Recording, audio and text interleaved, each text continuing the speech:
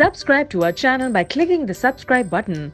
Click the bell button and enjoy the latest uploads from our channel.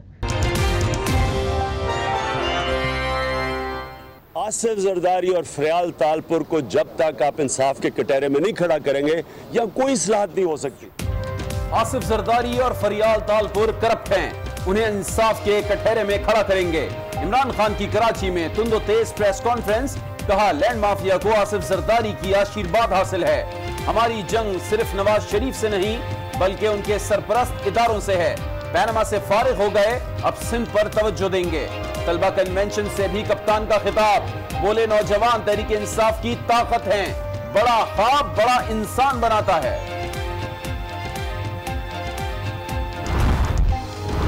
Imran Khan کا کراچی میں مصروف دن builders سے خطاب میں کپتان نے کہا کہ سندھ کے پانی پر مافیا قابض ہے۔ واٹر مافیا اربوں روپے کما رہا ہے۔ دس کروڑ لوگوں کو غربت سے نکالنا ہے۔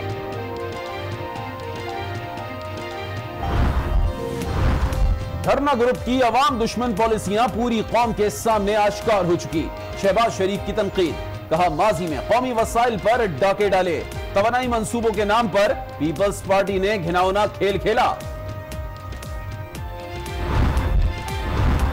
عمران خان خود کو قومی رہنما کہتے ہیں، مگر باتیں نچلے درجے کی کرتے ہیں۔ مولا بخش چانڈیو کی آج نیوز سے گفتگو، یہ بھی کہا کہ قانون سب کے لیے برابر ہونا چاہیے۔ ادارے سب کے لیے ایک جیسا رویہ رکھیں۔ حکمراں جماعت کو ملک کا نہیں، صرف اپنا خیال ہے۔ احتساب میں قانون سب کے لیے برابر ہونا چاہیے۔ کچھ لوگوں کو احتساب عدالتوں میں جائیں تو قالینوں پہ چل کے جائیں، سلامیاں لیتے چلے جائیں۔ اور ایک سائیڈ ہے جو ہمارے لوگ وہ جائیں، ان کے بٹن توڑ دیے جائیں کپڑے پھاڑ دیے جائیں۔ یہ کیسا احتساب؟ ہے جب تک بے نامی دار اعتراف نہ کرے، وہ مالک ہی رہتا ہے۔ جہانگیر ترین کیس میں ایمانداری کو دیکھنا ہے۔ جہانگیر ترین کی لیز زمین کا ایریا کمزور ہے۔ پینما کیس میں قابل وصول تنخواہ ظاہر نہ کرنے پر فیصلہ دیا گیا۔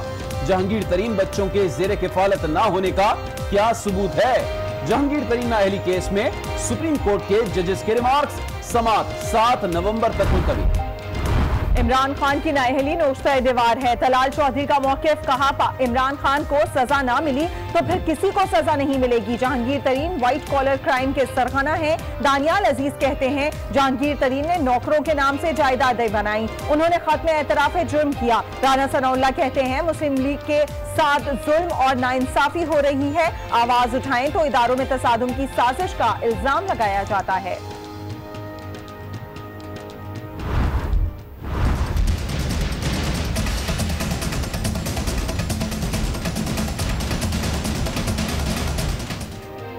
نواز شریف رواں سال پاکستانی عدالتوں میں پیش نہیں ہوں گے۔ واپسی کا شیڈیول پھر تبدیل۔ چھ جنوری دو ہزار اٹھارہ کو لندن سے روانہ ہوں گے۔ سات جنوری کو پاکستان پہنچیں گے۔ احتساب عدالت نے نواز شریف کو کل طلب کر رکھا ہے۔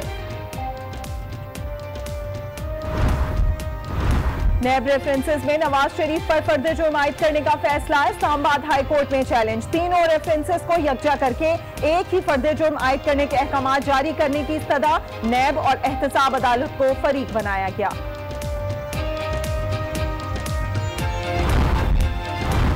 محکمہ تعلیم سندھ غیر قانونی بھرتی کیس میں سپریم کورٹ نیب پر برہم۔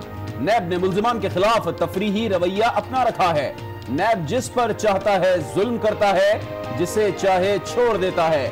غیر قانونی بھرتی ہونے والوں کے خلاف کاروائی کیوں نہیں کی گئی؟ بڑے بڑے کرپشن اسکینڈلز کو نیب نے چھوا تک نہیں۔ ججز کے ریمارکس ملزمان کی ضمانتوں کی درخواست پر فیصلہ محفوظ کر لیا۔ ایل او سی پر، بھارتی فوج کی فائرنگ سے دو خواتین کی شہادت پر پاکستان کا بھرپور احتجاج۔ بھارتی ڈپٹی ہائی کمشنر کی دفتر خارجہ طلبی احتجاجی مراسلہ حوالے کیا۔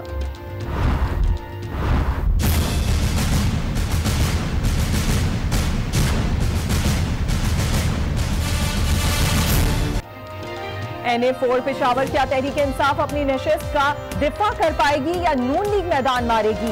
فیصلہ کل ہوگا ضمنی الیکشن کے لیے انتخابی سامان کی ترسیل حلقے میں دفاع ایک سو چوالیس نافذ۔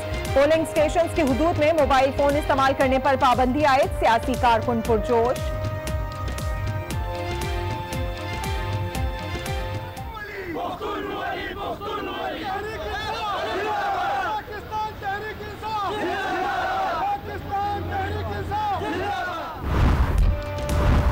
دہشت گردوں کی محفوظ پناہ گاہیں ناقابل برداشت ہیں۔ پاکستان کے ساتھ مثبت انداز میں کام کرنا چاہتے ہیں۔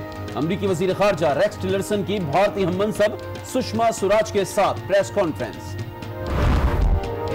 Hali road Hyderabad پر ایم کیو ایم پاکستان کے مقامی رہنما ڈاکٹر نوشاد قتل۔ واردات کی C C T V footage Aaj News نے حاصل کر لی۔